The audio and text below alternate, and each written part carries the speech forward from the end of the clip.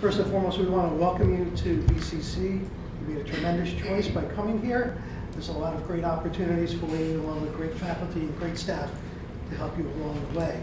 Um, what today really is about is you getting, uh, giving you a basic rundown of what to expect that first semester.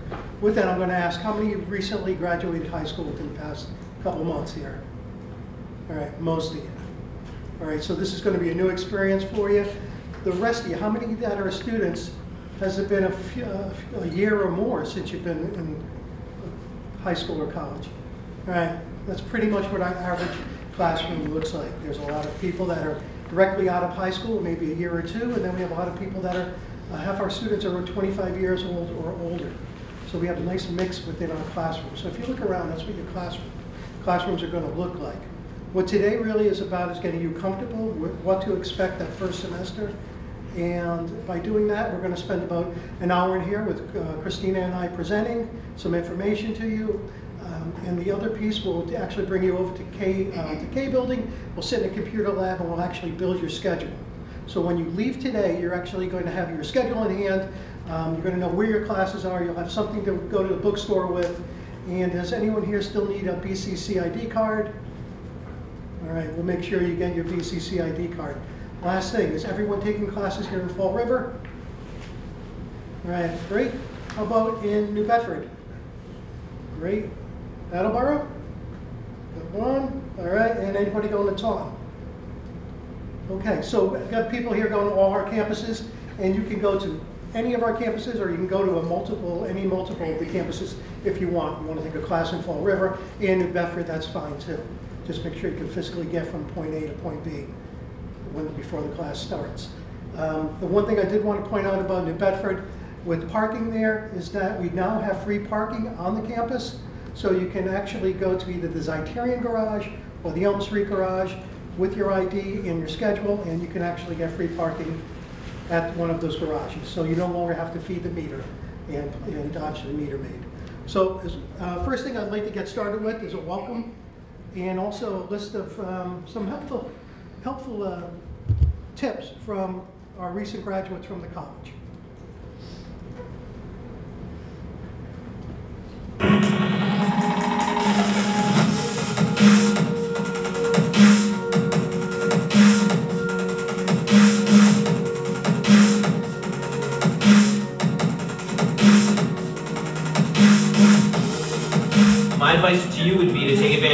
Everything that Bristol has to offer. There's so many opportunities for you to get involved in the community, to get involved in service, to get involved with other students and build friendships that can last you the rest of your life. Ask questions. Do not be afraid to ask questions. There, there's no uh, dumb questions. They all have answers. So ask questions. Make education a priority. I know being a community college student, we have other obligations, priorities.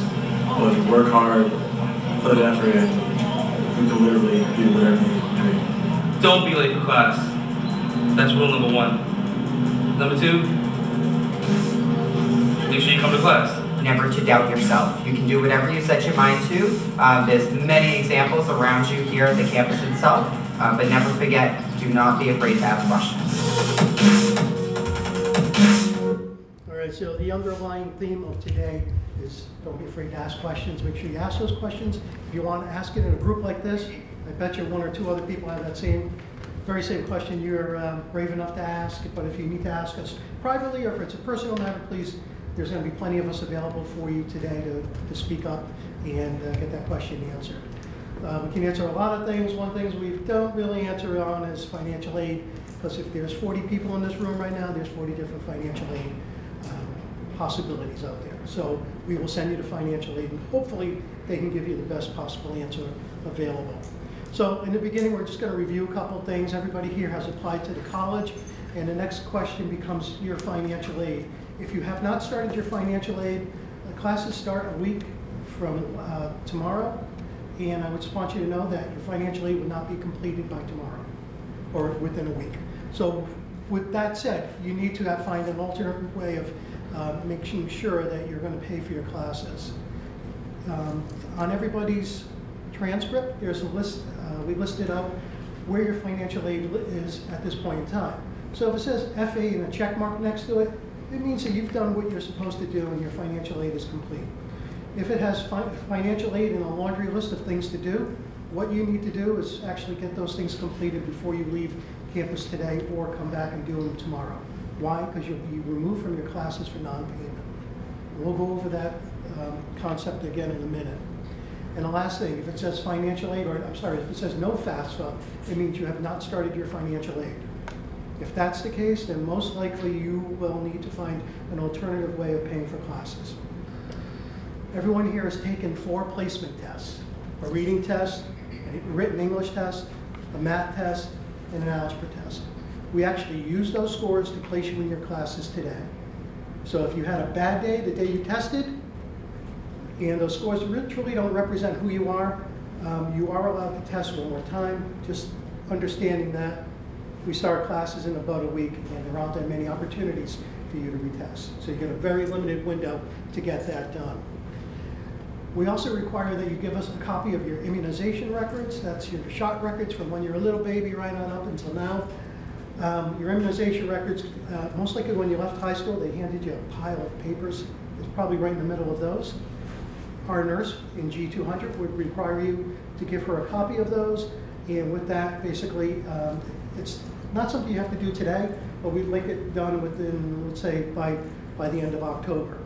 If you don't do that, it'll make it, um, a hold be placed on your account and you can no longer sign up for your spring classes. So it'll put you behind an eight ball. But for the most part, we want you to get, make sure you get us your immunization records by, let's say, Halloween. And the last thing uh, on that one's first side here is, um, do we have anybody using veterans benefits to pay for the classes? If you do have any veterans, or whether it's your own um, VA uh, benefits or your parents, you need to visit uh, Veterans Benefits Officers. They are in G220 to get the ball rolling there. Have you started to do that yet? Perfect. Okay, up here it now says, don't forget to do, pay your bill by August 10th. That was obviously a couple weeks ago. So we are looking for payment as soon as you sign up for classes.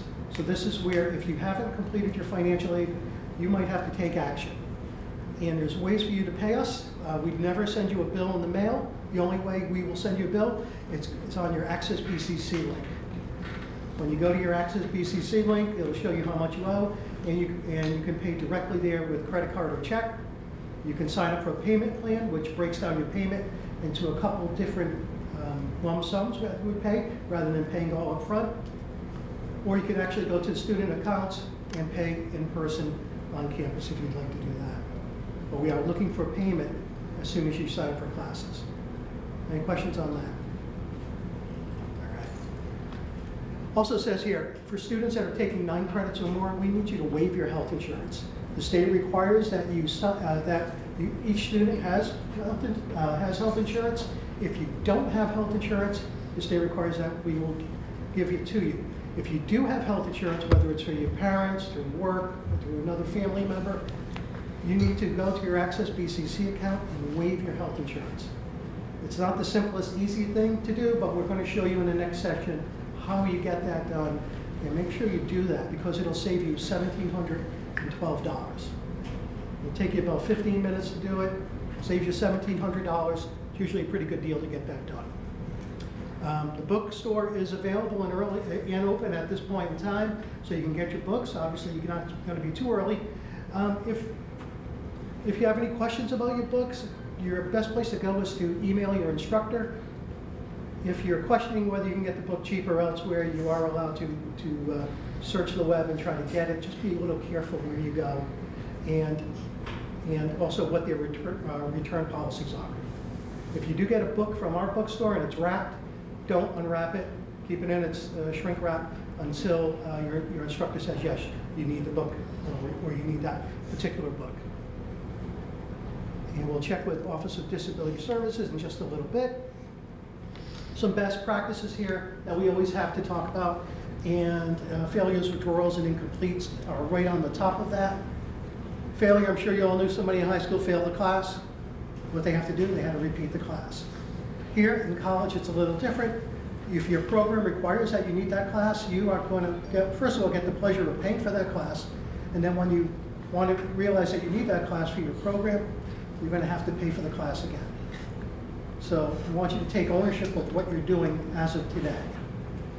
If you're signing up for classes, please go to class, please turn in your homework, follow your syllabus, because you need to take ownership of that, ownership of that starting day one. So if you don't meet the criteria of the classroom, the instructor has the right to fail you. A withdrawal is a little bit different. That's something that a student can do, and you can withdraw yourself up to the 10th week of classes. Withdrawal means that something changed in your life, or, and you just want to remove yourself from the class. If you fail the class, it affects your GPA. If you withdraw from the class, it doesn't affect your GPA, but it does show up on your permanent record as a withdrawal. Having one or two of them in your, your time here at BCC isn't a horrible thing, but you want to try not to have a lot of them because it does affect your academic standing at some point in time. Last thing up there, which is unique to college, is an incomplete. What an incomplete is, it simply means I see you in class every week, you show up, you turned in all your assignments, passed all your tests, and maybe she disappears the last couple weeks of school. Maybe she had a family uh, emergency, or she had, uh, got ill, broke her leg, got in a car accident. All of a sudden, she stopped showing up to class. The ability of an incomplete is something that the instructor has and can allow a student um, to complete the course the following semester. So it gives you as a student another semester to complete that course. So it's really of a benefit to you. Nice thing about an incomplete is you won't get charged for the, uh, to take, to, uh, you won't have to pay for the class for a second time. You don't start at the beginning with me, you start right where we left off. So if you owe me a final and a final project, you get those to me, I get your final letter grade to you. And really, it's up to you to really take advantage of that. It's not something you can ask the instructor usually for, it's something the instructor will recognize in you that you've done your work up until a certain point, and then all of a sudden may have had a, a tough spot in your life or something going on. So that's what an incomplete is. First two weeks of any semester is what we call the add drop period. That's sort of like our shakeout period. That means that you can add or drop a class during that period. You may have signed yourself up for five classes today, and all of a sudden you realize that might be too much because you're working a bunch of hours or so on. So you may want to drop a class that first week or two. Or you might say, hey, I can handle another class, and you can add a class. So the first two weeks of classes are designated add drop period, and by doing that, you simply can add or drop a class. Now, just don't assume that everything's going to be perfect when you do that. Uh, make sure you're working with financial aid if you are receiving financial aid or student's account to make sure you don't owe additional money, or if you have money coming back, um, how to get that money back. So make sure you're, you're not just uh, leaving it alone.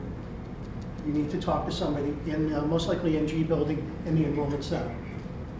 So what's the benefit of a drop versus a withdrawal? A drop simply doesn't show up on your record ever. It means that you have complied to the college's rules within the first two weeks, and it doesn't show up on your record. If you withdraw, it does show up on your record, and you're going to be charged a larger portion of the total cost of that class. So it'll save you money by dropping class versus withdrawing. We, we uh, work on a 4.0 GPA requirement. You need at least a 2.0 to graduate. 2.0 is a C average.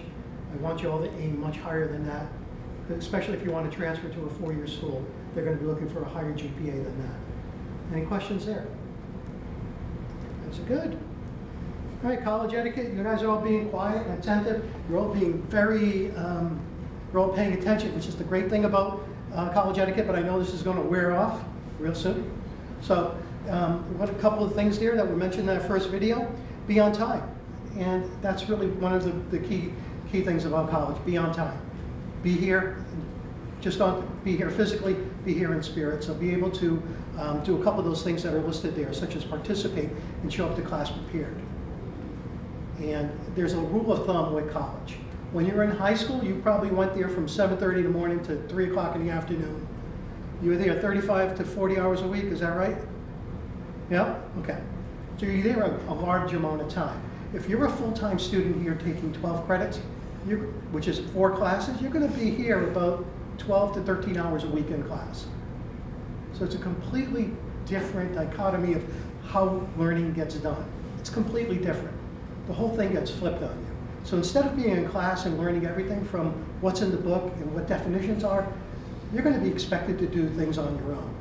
So the rule of thumb is for every hour you're in class, you're going to spend two to three hours outside of class studying, doing homework, going to the library, writing papers, preparing for a, a lab, all these things.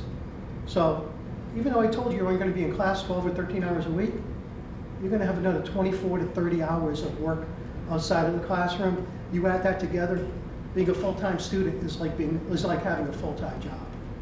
It's 40 plus hours of work. Yeah, some weeks you'll get away with a little less, but at some point in time, it's going to catch up to you. So be, be cognizant of that.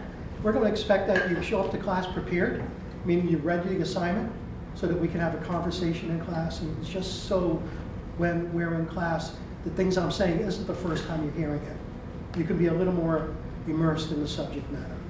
You can ask me better questions, or we can have a conversation rather than me downloading information to you. Um, that second item up there is your cell phones. We all got them, we all love them. Please follow your, your instructor's lead in the class. They will tell you if they want to see them or not. If you have an emergency and you really need to keep it out on your desk, make sure you're, uh, you let your instructor know. Some instructors don't want to see them. Other instructors will have you use them within the classroom. Any questions there thus far? Okay. We're going to expect you to check your email and check it often. You're going to get a unique BCC email address here. And you can do that by checking, either uh, downloading the app and checking your email there, but you can also check it by going to your Access BCC link. When you go to your Access BCC link, all your information is going to be there. I'm going to tell you to check your email at least once a day. If it, it'd be your benefit to check it even more. That is really the only way the college and your instructors have to communicate with you. So if I'm going to cancel class for tomorrow, and I'm going to email my class that I'm not going to be there, I can click a couple buttons in my Access BCC and get that information out to you. I'm not going to check what your personal emails are. I'm not going to check how you emailed me last time we spoke. I'm going to send it in a general email out to my students. And if they get that information, they're going to be very thankful that they didn't have to get up at 6 a.m. to be here for an 8 a.m. class. So use this to your benefit. In most cases, instructors will not answer your private email account, uh, uh, inquiries. So if you're asking them, um, what's due for next week, I might not want to answer an AOL or a Gmail account. But if you email me through Access BCC, I know it's a student, and I don't know it's, uh, I'm, I'm, protect, I'm doing this basically to protect the privacy of your account. Because we don't want to give out any information to anybody else that isn't the student. So we're doing it as an act of privacy. Any questions on that? The last piece there is syllabus, and a syllabus is, was required by every, um, is required by every instructor in every class to have that. It's a college requirement. Um, what a syllabus is, and some of you might have got them in high school, essentially it's a list of all the rules of the class. I'm going to play a really quick video. He's going to do a very good job of explaining that syllabus. And then we'll talk a little bit more.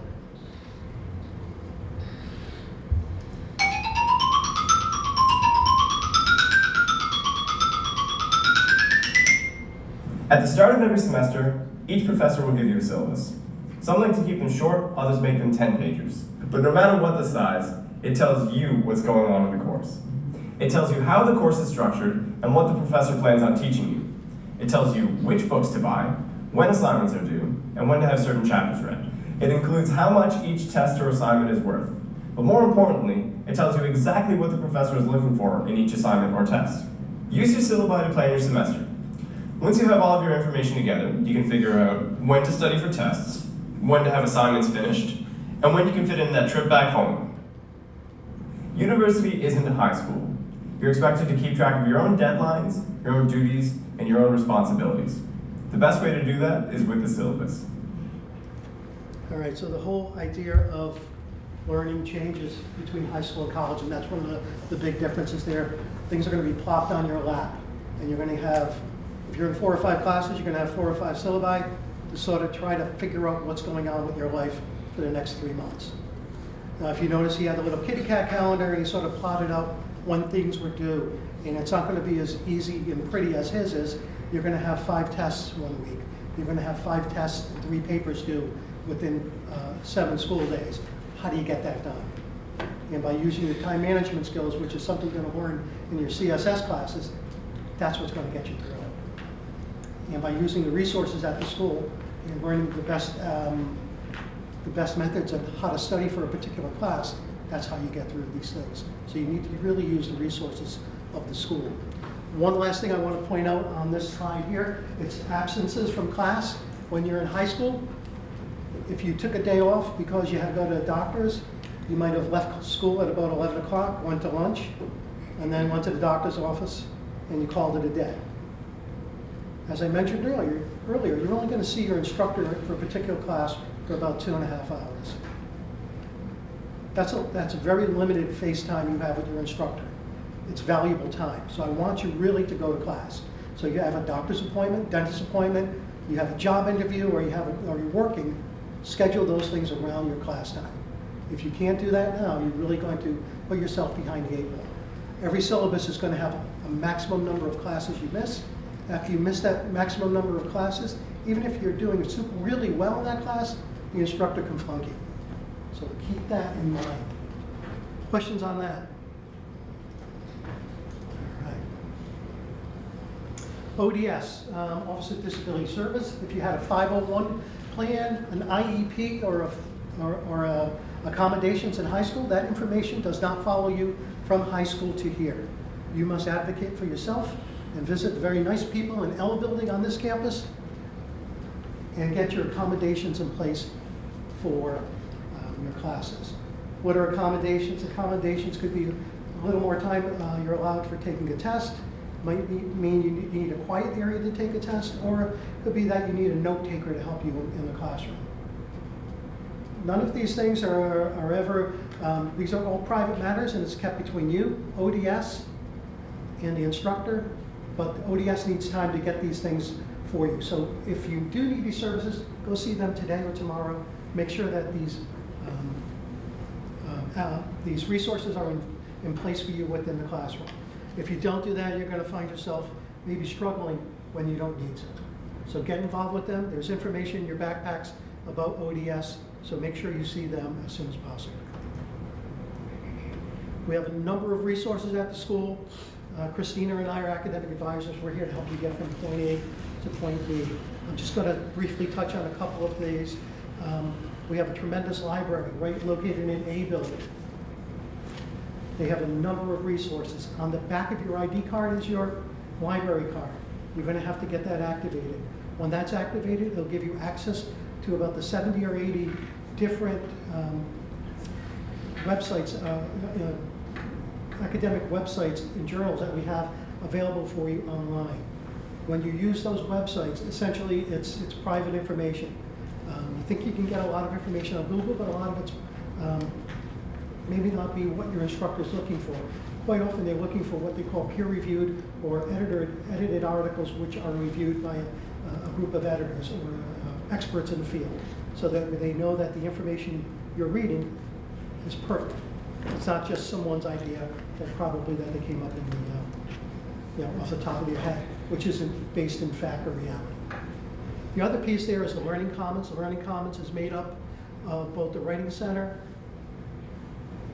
and the Tutoring Center. They're located in B building on this campus, but all these resources are located on all campuses. What's great about the Tutoring Center or the Learning Commons is that you can go there and get tutoring for free in any subject matter. Struggling in a particular class, you can get help there. Nice thing about the, uh, our Learning Commons is that most of the students that go there are A and B students trying to maintain those A and B. We also have a lot of students that go there that are C and D students trying to maybe maybe get that C up to a B or get that D and feel a little bit better about the knowledge you're learning. It's a way for you to just um, have a one-on-one session with someone else. These are free of charge services. They're available to you on campus starting day one. Make sure you use them. And they're also there to help you with any term papers you have, any writing assignments you have, um, and also the library is there to help you with researching um, any topics there. And the last one here, before I kick it over to Christina, is coming up this Wednesday from uh, 10 a.m. We have BCC Day 1, which is a brand new event here. Um, It's really an opportunity for you to get to meet some of your instructors, advisors, and fellow students. So we're going to have about 300 students here already. We'd like to have a few more, so why don't you, um, there's information in your backpacks about this, but make sure you sign up for this so we know you're coming, and we can have some food available for you. And also, a nice uh, thing is we're going to raffle off a couple of uh, laptops. Um, The president will be speaking, so it's a really nice day. We we think you'll enjoy it. All right, everyone, my name is Christina. As John mentioned, I'm another advisor here on campus. We are going to switch topics just a little bit and talk a little bit more about the advising and registration components of orientation. This is my plug to tell you too that you should be meeting with an advisor every semester. What we do today is something that should carry with you in every semester while you're at college so that you're planning appropriate coursework, taking classes that apply to your major, and making sure that you're taking classes that fit within your schedule. So one of the first questions that I ask a student whenever I meet with them for course selection is, do you need to be full-time? Some students come in right off the rip and they know, yes, I'm a full-time student, this is my plan, this is all I'm doing is coming to class. Great, then I'll make sure that you're registered for at least 12 or more credits. So full-time enrollment, just to reiterate, is 12 or more credits. Most of our courses are worth three credits. We have a handful that are worth one, some that are worth four but the majority of our classes are three credits. So to be full-time, that's at least 12 credits or more. If you don't know if you need to be a full-time student or if you want to be a full-time student, there are some instances where you have to be full-time. If I have anyone in the room interested in participating in one of our athletic teams, you absolutely have to be a full-time student in order to be eligible to play. That means 12 or more credits. Specifically for student athletes, we need to get you in morning classes that end before 1, 2 o'clock so that you're able to make it to games and practices.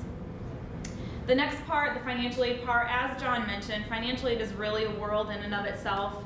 So we encourage you to touch base with financial aid, especially when you look on your paperwork, if you do see a list of to-do items for financial aid. There's no general statement in here that I could say that everyone has to be full-time in order for your financial aid to be applied. So this is more just more or less a reminder for you to check in with the office not that we're going to be able to answer all those questions, but again, please make sure you touch base so that your classes are able to be paid for. John did mention on your paperwork there is a laundry list of things that you might need to do. If not, then talk to us to see if you need to set up a payment plan. They are going to drop students tomorrow for non-payment. So if you register for classes today and no payment is made, they're just going to erase your classes tomorrow. That doesn't mean that you can't come back in tomorrow and re-pick those classes out, but if you somehow snag a, a seat in a Monday, Wednesday at 9.30, and there's another student over here that really wants it, chances are they're gonna see that and grab it before you're able to re-register. So that's just the reason why we wanna make sure that you guys check in with financial aid and or student accounts to make sure you can secure the classes that you select today. That last piece there, the two-year plan, a lot of students come into a community college and they say, great, it's a two-year school. I'm in and out in two years, I can transfer, I can go out into the work field. Yes and no. You can absolutely complete your associate's degree in two years, but in order to do that, you have to know how many credits your program is worth. So at a minimum, all of our associate degrees will be worth 60 credits. In order to complete those 60 credits in two years, under a traditional academic year, meaning the fall semester and spring semester. Two years, four semesters, 60 credits divided by four semesters is 15. So in order to get your 60 credit degree program done in two years, you want to be registered for 15 credits per semester. So if two years is your plan, then yep, you want to be full-time and you want to crank it up a bit to 15 credits versus 12. Now, I'm about to show you a couple of visuals just to sort of get the wheels turning, just so you guys have an idea of how long do I want to be here for, how many classes do I want to take, and what does that sort of path look like for me. So these time frame for degree completion. This isn't something that you guys have to follow to a T. Again, it's just a visual. But this first one you see here is very much a full-time schedule. So you're looking at the traditional two-year plan, four semesters. And you've got 15 credits at least per semester. So again, very much a full-time schedule here. Take a student about two years to complete their degree this way. What this example and the next two examples do not take into consideration is any developmental coursework you may need. So a developmental class is a result of your placement exam, the English reading or math, and essentially what a developmental course is, is a pre-college level course based on one of those topics that really have to make sure that we get you guys sort of like get that foundational skills like put together. Make sure that your skills in math are concrete before we throw you into a college level math. So for some students, they might not be able to start with Math 119 in their first semester because that's their college level math. They need some developmental coursework ahead of time, maybe arithmetic, maybe algebra. So if you're not able to start with that college level work in your first semester, then we need to prioritize those developmental courses and get those done as soon as possible so that we don't delay your college level work too far. This is just another instance where I would say please make sure you're meeting with an advisor, be it a faculty advisor or a professional advisor, to make sure that you are staying on track. Get those developmental courses done ASAP so that it doesn't delay your college level work and so it doesn't delay how long you want to be here for. So again, very much a full-time example. You're looking at five to six classes per semester. A lot of our students gravitate towards a part-time schedule. So you're looking at maybe three to four, two classes each semester. Anything under 12 credits is considered part-time. So even if it's 11, that's a part-time, three-quarter time schedule. You will notice in this example that a student is taking advantage of our summer session. We do offer a handful of classes over the summer, but something to note about the summer is it's an accelerated session versus our traditional fall and spring. So your fall and spring semesters are 15 weeks in length, fall and spring. The summer is going to be taking essentially a 15 week class and putting it into either 11 weeks or seven weeks, depending on the schedule of the summer session. So the summer is a nice way to kind of keep the ball rolling, stay in the, in the uh, mentality of going to school, but it will be a quicker paced semester versus the fall and the spring. The other thing is to make sure you check with financial aid because there is a, a, vast majority of students that aren't able to have their summer classes covered by financial aid, and that usually results in an out-of-pocket expense. So again, just make sure you're checking with your financial aid status. This right here, part-time schedule is going to take a person about three years to complete, so not too far off of that two-year mark. This final example might be a little dramatic. It's one class at a time, super dedicated student, it's going to take them about seven years to complete their associate's degree going one class at a time.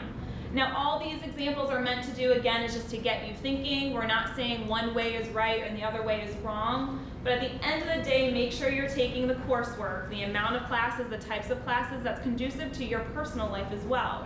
We know that a good majority of you probably work, maybe have family obligations, maybe your commute is like an hour, hour and a half take all of those things into consideration when you think about how many classes you want to register for. This isn't a rat race. It might take you a little bit longer than two years, but if you're here and you're doing it successfully and this is a positive experience for you, then that's really what you should be focusing on. Questions on time frame for degree completion. Again, make that decision is yours and we're going to help guide you through that. Alrighty, so I had mentioned that those examples don't take into consideration those developmental courses. So what we're going to do is talk a little bit more about your developmental course options. Now when everyone checked in, you guys all got some paperwork, so if you don't have it in front of you, this is a good time to take it out. Um, we're going to go over the results of your placement exam. I'll give everyone a second to kind of shuffle through that. Now I know there are some students in the room that might have just did their placement test or maybe just did it yesterday. So we may not have those final scores in this moment, but when we go next door to register for classes, we will make sure that we have all those scores and help direct you into what classes you should be looking for. So on your paperwork, and if I could maybe steal somebody's, thank you ma'am. So everyone got their transcript. It has your name, your major, your placement scores. What we've done is we've interpreted those placement scores, so you don't have to worry about what a 39 on the arithmetic means. We're gonna go through those for you. So on the back, you should have a sheet that looks like this. And we did a little bit of pre-advising. And what I mean by that is we've interpreted your English reading and math scores, and we've made recommendations based on those scores. On your sheet, if you see anything that starts with a zero, that's indicating developmental coursework is needed. And as I mentioned, please make sure that those courses are priority. Get those done in your first semester so it doesn't delay your college level work. So on that second row where it says MTH, that's math. We're gonna go over a couple of math options right now. If you see anything that starts with a one, like math 119, 125, 152, you can go ahead and ignore me. But anything that starts with a zero, please make sure you guys understand your options. So your math options. Whether you need arithmetic, algebra, intermediate algebra, those first two examples, the math 001, 011, 021, 031, the content in those courses are the same. So if you need arithmetic, 001 is arithmetic, 011 is arithmetic. The difference is the way that the course is taught, so the method of instruction is different. 001 is a computer-based math course. You'd be in a computer lab on campus, doing all of the learning, all of the work on a computer. There's a faculty member in the room to offer assistance, but they're not going to be lecturing up front because the other thing about the computer-based math class is everyone is at different places. So you could be on chapter one while you're on four, while you're on seven, and there's no real way that a professor can lecture to that. That's the other thing about computer-based math is some students like the fact that they can go at their own pace. So if you're really good at fraction, fractions, fractions, I was gonna say decimals and fractions. If you're really good at fractions, you could blow through that chapter maybe in a couple days. But if you need a little time on another subject, you can spend that time on that other subject. End of the day, you just have to ask yourself, am I comfortable doing work on a computer? The other option, if you're like, absolutely not, I don't want to do work on a computer, is the Math 011, 021, 031 options. That's going to be your traditional lecture classroom setting. So probably a classroom setting most people are used to. Professors in front of the board, in front of the room lecturing, putting notes on the board. Everyone's going at the same pace. So week one is fractions, week two is decimals, so forth and so on.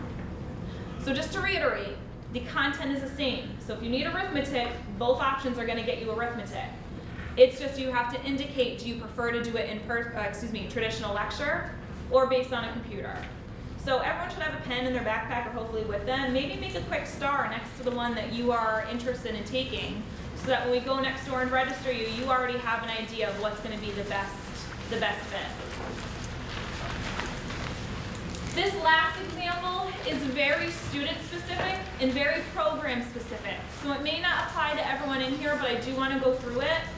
Math 060 with Math 119 or 125 is a combination math course. And what it does is it pairs developmental algebra with the college level math required by the student's program. So again, it's very program specific and dependent on where you place in your placement results. The combination course pairs those two together, thereby allowing a student essentially to get all of their math requirements done in one semester. Doesn't delay that college level work. So the 060 is the developmental algebra piece, and then the 119 or 125 is the college level piece required by your program. Question? So you would get the credit for the, like, the half Absolutely. So, great point to mention. Math 001, 011, 021, 031, those do, the credits that, for that class do not apply to your degree. Any developmental coursework does not go towards your program. What it will go towards is to your enrollment. So if you're taking four classes this semester and one of them is that math class, the Math 001, and the other three are college level courses, you're, you're considered full-time. You're in 12 credits. But at the end of the semester, when you pass all four classes, you're only going to earn credit for the three college level. So it's really like you're only earning credit for three classes versus four. Now that Math 060 and 119, 125 is a five credit option. Two credits worth of developmental work and three credits worth of college level work. So at the end of the semester, if you take 060 and 119, you do earn three credits towards your program because of that college level piece that's incorporated. Does that answer your question? Does that make sense? All right, great. Any questions on math? Like math class questions, not actual math problem questions, because I'm not that math person. Everyone knows what kind of math they're going to take? If not, there's advisors over there. We're going to help you. The next piece is your English. So if you can go to that top line where it says ENG-RDG, that's your English and writing, uh, English and reading scores. Now some students may have placed right into English 101 or 102. That's fantastic. You guys place into college level work. You can sort of ignore me. But if anyone sees again that zero, that zero coursework, here are some integrated English options. Now for some students that might have placed both into English 090 and Reading 090, those are two separate courses, uh, developmental reading and writing. But what the English department has done is they've offered this combined course called English 091. And what's nice about the 091 is that you take your reading and writing and you push them together. So instead of having two separate courses, two different instructors, two set of assignments, two sets of books, you now have one of each, one instructor, one set of assignments, one textbook.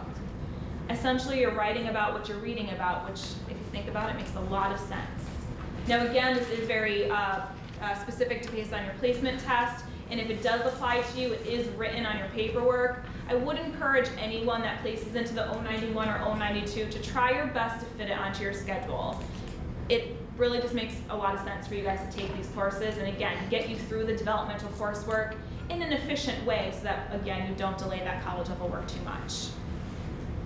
English 092 is for my students that need English 090, so you needed a little bit of work on the English placement test, but it pairs English 101 with it. So it's very similar to that last math option.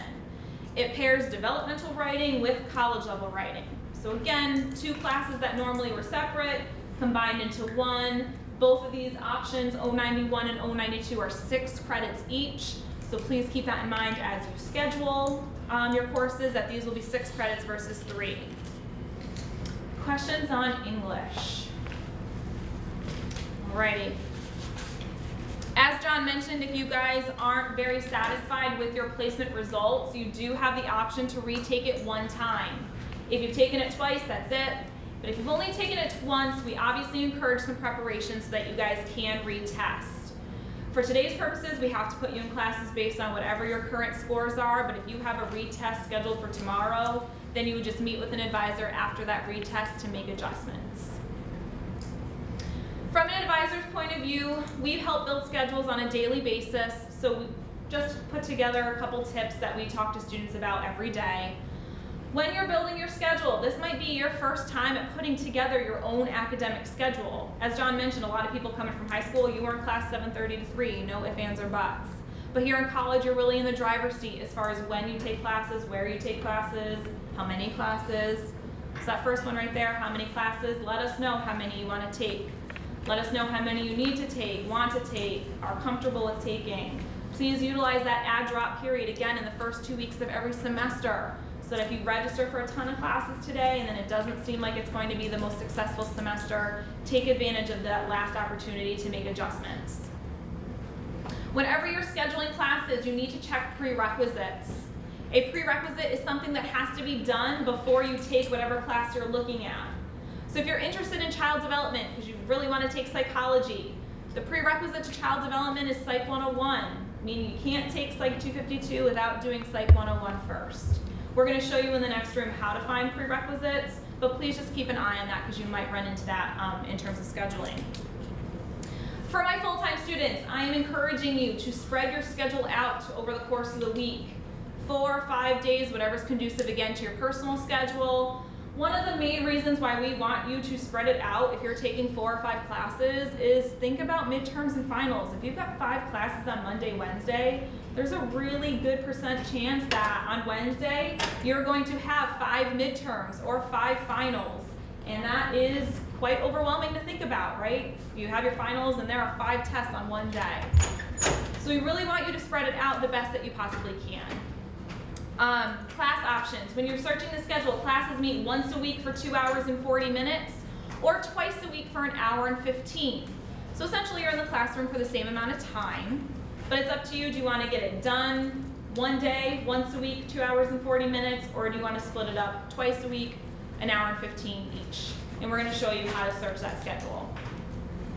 We have a handful of evening courses that start at 4 p.m. and 7 p.m. We also have some weekend classes, depending on, again, what works for your schedule. And then we also have something called a fully online or hybrid course. A fully online class, what does that mean? You do not come to campus. You do all of the work, all of the learning, anywhere you have internet access, right? So you can do it from home at 2 a.m. If, that's what works best for you. Please don't confuse a fully online class with being easier than an in-person class. I say to students, if you want to take online classes, please make sure your time management skills are like way up here and that your motivation is way up here. It's super easy to fall behind in an online course because you don't have that person in front of you reminding you and clarifying there's still a faculty member attached to an online course, but again, if you're kind of easily distracted or maybe you procrastinate a lot, an online class might not be the best option. A hybrid is an interesting way though to sort of get your feet wet with online work. So a hybrid course has an in-person component and also has an online component. So it's kind of like the best of both worlds. So if you're thinking about online, a hybrid might be a good place to start because at least you still have that in-person meeting once or twice um, a week. Questions, concerns, comments for the good of the order? No? Yes, ma'am? Um, could I I'll talk to you in two seconds, okay? Cool. All right, so what we're gonna do actually, oh, I'm jumping ahead of myself, I apologize. I don't think we have any culinary arts or hospitality people in here. If we do, you can kind of come talk to me in one second. But one of the last things we want you to know is we want students to be informed every step of the way through college. And one way to do that is we're taking advantage of the fact that everybody has a cell phone. So everyone's been great. I don't think I've seen a cell phone out the entire time. But now would be a great ch chance to actually take them out and play with them a little bit. What we've done is we've created a couple text info um, locations for you guys to go to. So, it's a free service, standard text messaging rates do apply, but hopefully everyone has unlimited uh, packages at this point. But one way to stay in the know is to know your academic pro, um, requirements. So if you want to be reminded of deadlines like the add drop period, when advising starts, that you can get a perfect schedule for the spring, when the last day to withdraw is, then you can text BCC info to that number right up there, which is 67283. By texting to this, you are opting in to get that email, excuse me, that text message notification that, hey, tomorrow's the last day to drop your classes, or advising starts next week. Make an appointment with your advisor now. We're not going to spam you. It's really just to keep you in the know with some of these important dates and deadlines. Right underneath that, you're going to see, yes, sir? I just have a question. Um, so you know how BCC info are like one kind of together? Yep. have to be together? Yeah. I would do it together. Yep. Um, the other one, though, right underneath that is be notified, and it's the same number, 67283. If you don't sign up for all of them, at least sign up for this one. Be notified is going to alert you when the campus is closed, maybe to a weather-related emergency or God forbid an actual emergency on campus. You don't want to be driving to school only to find out that we were closed because a water main burst, and that happened. So I would text be notified to that number as well. Yes, ma'am. I got service access tonight. Oh, great. All right, so if anyone else is getting any sort of error messages, I will find out from communications because they put this together. I'm just the messenger. Um, anybody else, is anyone getting an actual confirmation though by text? Okay, so some people got confirmations. All right, I'm not gonna say that it's just you, but we will touch base to make sure that it's not just you. Um, I'm gonna leave this up for a second. Uh, what we're gonna do though in this next portion is I'm gonna split you guys up a bit. There's just a big group. We don't wanna cram you into one computer lab. But what we're gonna do is go into the next computer room and make sure that you guys understand your program requirements. So big thing, you guys, when it comes to registering for classes is knowing what classes you need to take, right? So we're gonna show you your program requirements, then we're gonna show you a course search so that you guys know how to actually find the courses you need to take. Before you leave the next room, you're gonna check out with an advisor to make sure that your classes look good to go. And then we'll send you on your way for any housekeeping items such as getting a ID, checking with financial aid, so forth and so on. All right, so I